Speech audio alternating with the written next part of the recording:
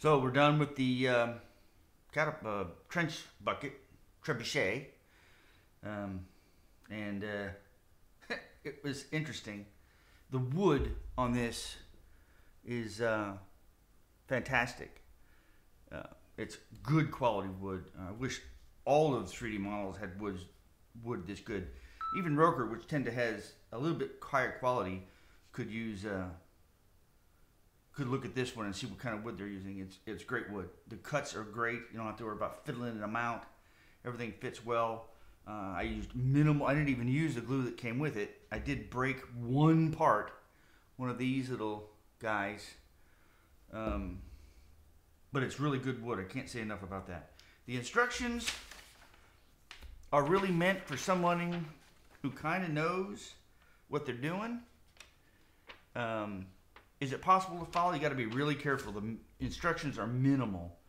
I screwed up a couple pieces and had to redo it because I was expecting step by step instructions like you'd see in Ugears or Rokr or something like that, and it's not. It, it shows you the piece you want to do, and it may be two of them, um, but you got to read the notes.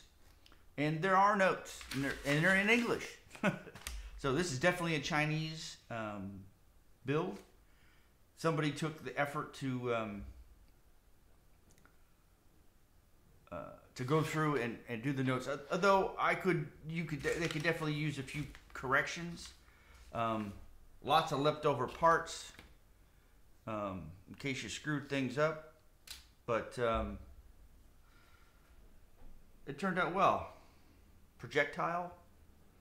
Not saying that's much, but hey, it's there. Um, and it does work. It absolutely does work. So, uh,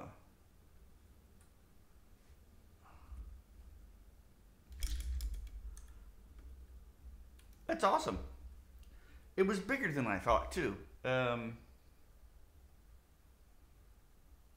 so, yeah.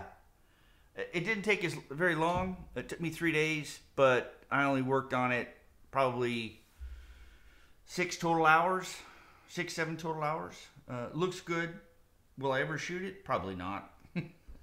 I might go out and test it once just to make sure, but uh, you, you, know, I, I build them for display pieces, so but it looks great. Um, so uh, it all works. I tried the little thing. Anyway, one ball missing. So, see for the next model. I must have a like here somewhere. Subscribe. Take it easy. Bye.